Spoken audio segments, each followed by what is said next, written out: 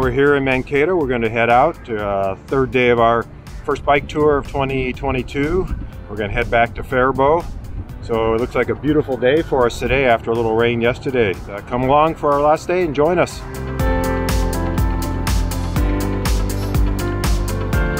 A little walk a bike, start off the trip. Cuts a little distance off, what the heck.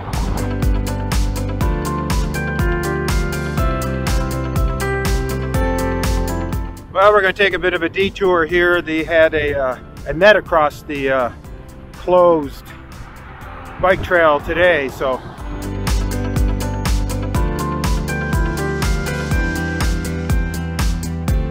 Well, here we join up with the uh, Sakatah Hills, Singing Hills bike trail.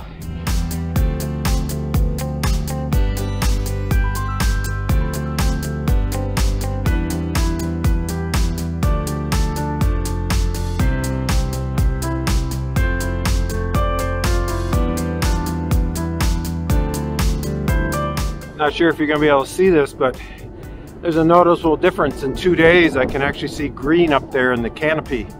Things are starting to bud out.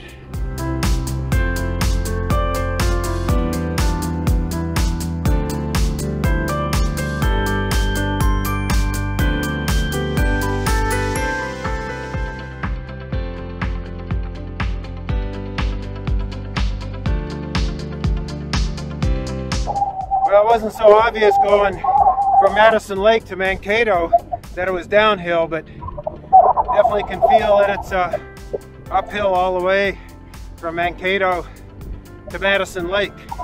Plus we got a little bit of a headwind into us. I'm hoping it doesn't get any stronger. Rolling into Madison Lake here, the outskirts.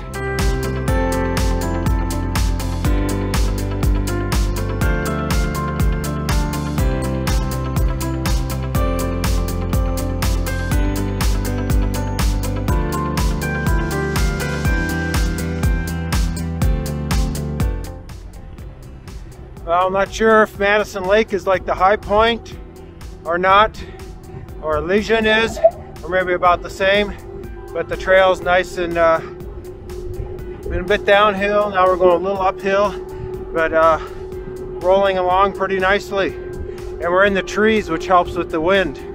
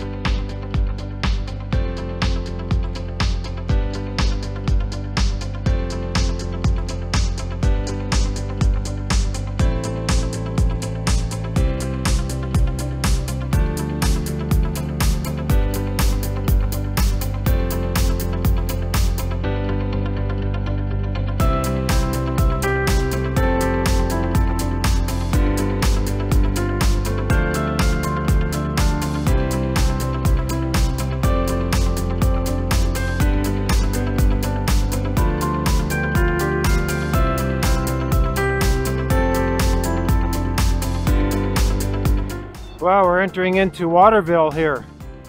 Uh, 22 miles. I think it's about 17 from here to the uh, trailhead, about probably 18. We decided to divert from the trail and go into the town of Waterville. We hadn't been there for a few years, so to check it out.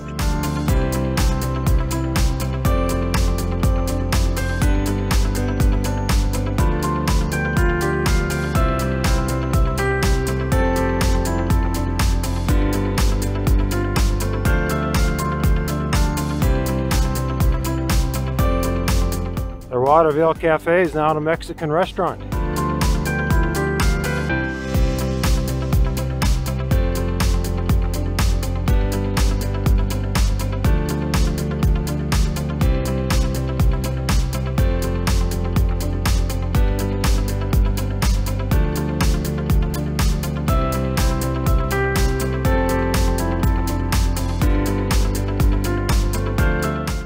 Wandering through the town of Waterville, we headed to the bike trail again and then on to Sakatah Lake State Park.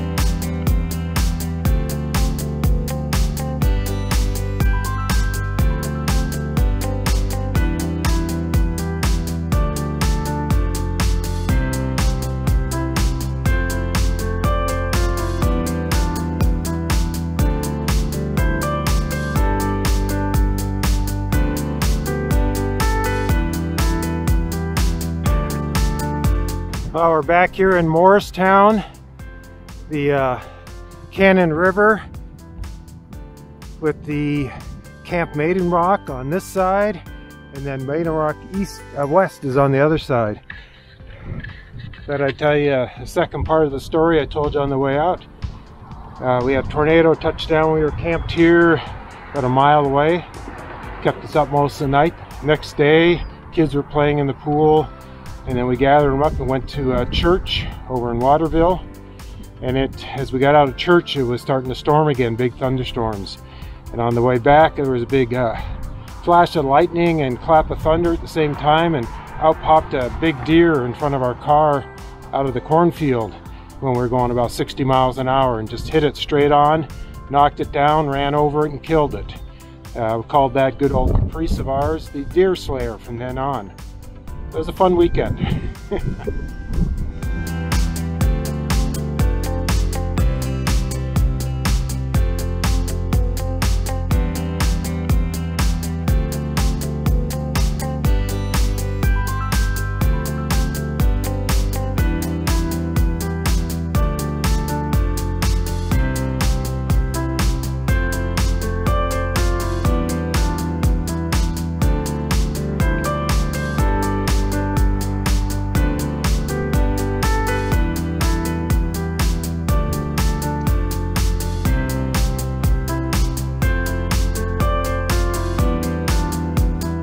As we were taking a break in the picnic shelter, we found, saw two barn swallows that were working in tandem to kind of keep an eye on us over their nest.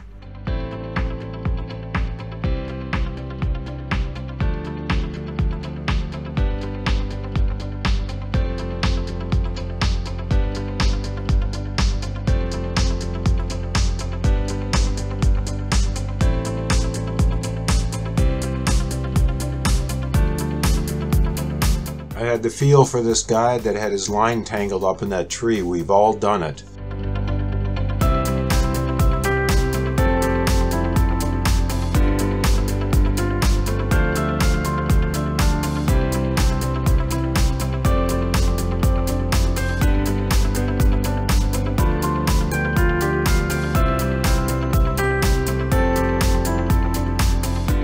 Good to see the farmers getting into the fields after a wet spring.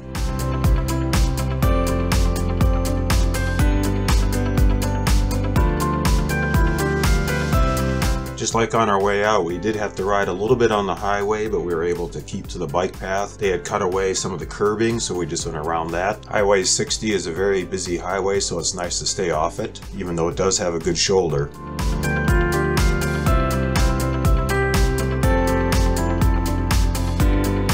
Well, our first tour is in the books, uh, 2022. A nice uh, two-night, three-day ride from here in Faribault to Mankato and a loop around there on the uh, Sakatah Singing Hills Trail. We parked here at the trailhead with no problem. You know, I always call the police in the, the towns we're going to park in and ask them where to park. Uh, give them my car information so they can check on it.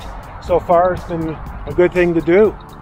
Uh, we're planning probably three more tours this year. Hopefully they'll be good like this one. Thanks for joining us on this one and look hope to have you come on the other ones with us. So thanks for watching. After a successful first bike touring trip of the year, we decided some A&W was in order and boy, a root beer float sure tasted good.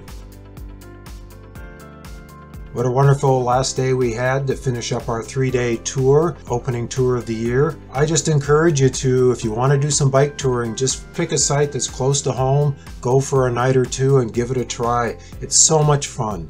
So the Sakatah Singing Hills Trail is a wonderful trail. The DNR of Minnesota has fixed it up so that it is really a nice trail.